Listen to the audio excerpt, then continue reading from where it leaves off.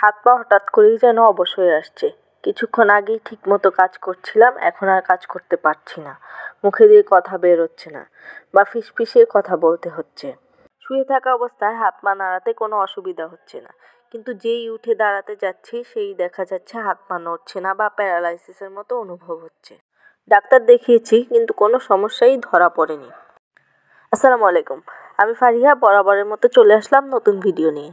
এতক্ষণ যেই সিমটমসগুলো বললাম, সেগুলোকে আপনারা নিজেদের মধ্যে দেখতে পান বা আপনাদের আশেপাশে কারোর মধ্যে দেখতে পেয়েছেন? যদি দেখতে পেয়ে থাকেন, তাহলে ভিডিওটি আপনার জন্য। এতক্ষণ যেই সিমটমসগুলোর কথা বললাম, মনোবিজ্ঞানের ভাষায় রোগটিকে বলা হয় হিস্টেরিয়া হিস্টেরিয়া শব্দের বাংলা প্রতিশব্দ জরায়ু। আগে মনে করা হতো, নারীরা যখন সন্তান সম্ভবা হয়, তখন তাদের মধ্যে এই রোগ দেখা যায়।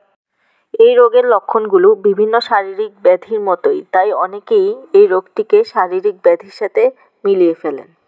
যেমন, এই রোগের একটি বিশেষ লক্ষণ হলো খিচুনি বা প্যারালাইসিসের মতো অনুভব হওয়া। অনেকেই এই খিচুনিকে মৃগী রোগের সাথে মিলিয়ে ফেলেন এবং মৃগী রোগের ভুল চিকিৎসা করে থাকেন। এই রোগটির ব্যাপারে একটি মজার বিষয় হলো যে, এই রোগের লক্ষণগুলো শারীরিক পরীক্ষা নিরীক্ষায় কোনো কারণ খুঁজে পাওয়া যায় না। এই রোগের আরেকটি বিশেষ লক্ষণ হলো ইন্দ্রিয়ের সংবেদন কমে যাওয়া, অর্থাৎ চোখে কম দেখা, কানে কম শোনা ইত্যাদি। অনেক জায়গায়, বিশেষ করে গ্রামাঞ্চলে, এই লক্ষণগুলোকে জিনের আসর বলে আখ্যায়িত করা হয়।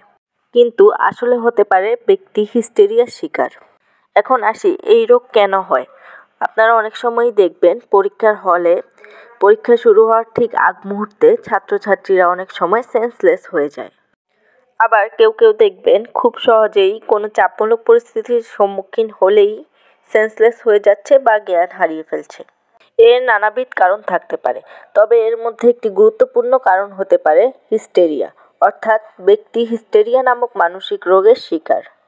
জীবনের চাপমূলক পরিস্থিতি এড়িয়ে যাওয়ার জন্যই তারা মূলত এই ধরনের আচরণ করে থাকেন। শারীরিক লক্ষণের মাধ্যমে প্রকাশিত এই মানসিক সমস্যার লক্ষণগুলো সম্পর্কে আমাদের পরিষ্কার ধারণা থাকা দরকার। তবেই আমরা সুষ্ঠু চিকিৎসা নিশ্চিত করতে পারব। আজকের ভিডিও এই পর্যন্তই। যারা শেষ পর্যন্ত সাথে ছিলেন, তাদেরকে অসংখ্য ধন্যবাদ। ভিডিওটি ভালো লাগলে অবশ্যই একটি লাইক করবেন এবং চ্যানেলটি সাবস্ক্রাইব করবেন।